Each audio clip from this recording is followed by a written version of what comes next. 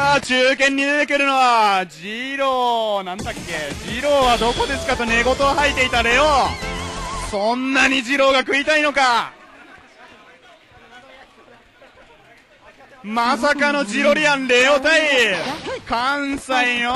関西からこんにちは。生徒さんの赤。さあ悪くた赤この組み合わせはどうなんだろう？俺にはよくわからん。これはお互い殺せばいいのか？なるほど。さあそう言ってる間に一番最初にコンボを持っていったのはレオ。画面足手だから。しつこくしつこく相手を崩そうとしている。ジャンプに投げ。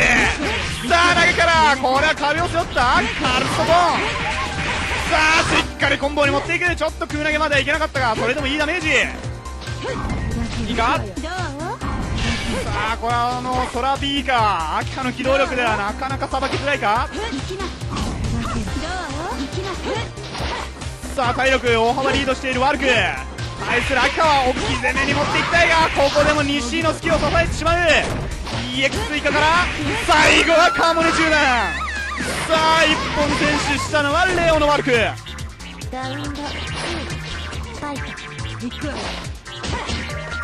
ラウンド目。さあ1ラウンド目と同じようにイカを振っていくワルクに対して秋葉は差し込めるか？ああ低打ジャンプ A からの低弾卓で食らってしまう2へ右西さあイカはおっとこれはイカを抜けたがちょっとコンボにはいけなかった。ジャンプ A さあ組み投げでも何でもいいからとりあえずワルクを捉えたい。あ画面端で。固められる。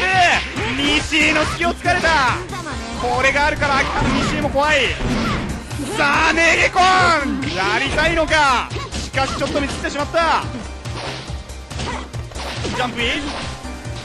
さあ逆にしつこくまとわりついているのはレオのワルクの方。ジャンプ B からのクルタイク。ジャンプミシンはしっかり入れてすごいゲージ回収。さあお互いマックスの状態で。さあここはバンカーを使わずに。そのまましっかり耐えてここで時間もつかなくなってきたが右かさあここで赤解放したところにタッチシーカルストが間に合った。勝利したのはレオのワルク。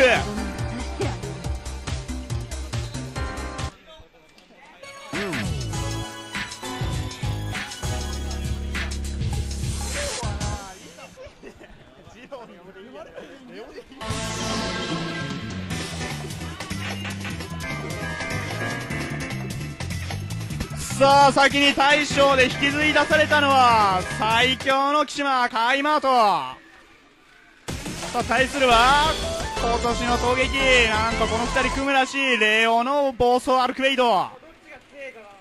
どっちが強いかこの勝敗によってチームのリーダーが決まってしまう。主従関係とも言えるぞこの一戦。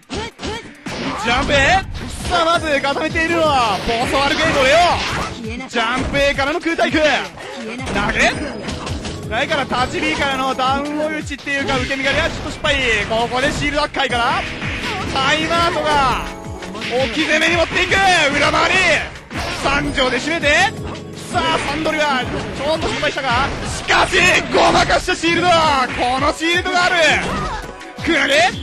ここで海洋に大炎上あ打撃分またえなかった。が 2B 対空からの入れ込みジャンプシーク昇竜さあお互い激しい展開。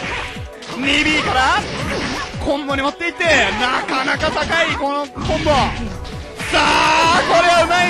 シールドをジャンプで取り最後は地上で拾ったコンボ。1本選手したのはコーマさあ2ラウンド目。壁に顔を背負っているコーマは怖い。さあ画面端に投げられてコンボに持っていかれる。あっという間に体力6割を奪って。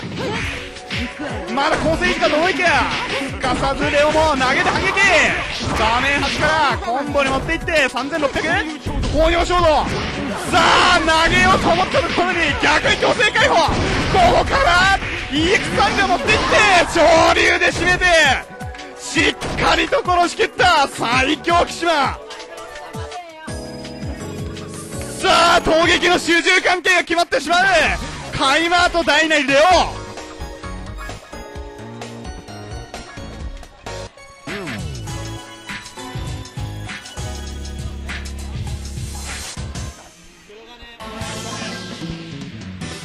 さあ大将対大将。